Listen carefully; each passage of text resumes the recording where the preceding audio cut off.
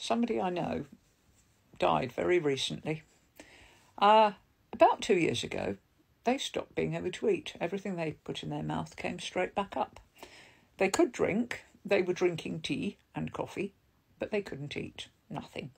And after about three months of not being able to eat, they had lost an enormous amount of weight.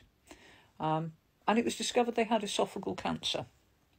Uh, because of the fact that they hadn't been to the doctor and hadn't seen, it was blocking completely the tube.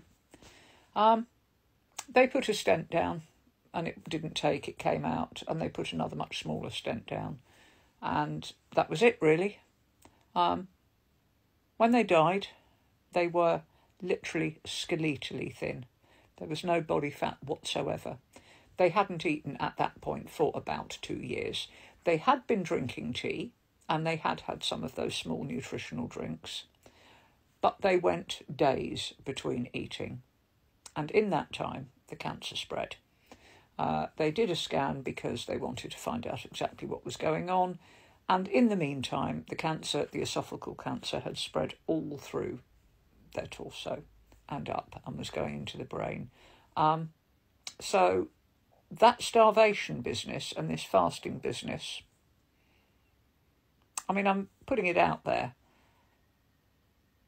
didn't work very well, did it?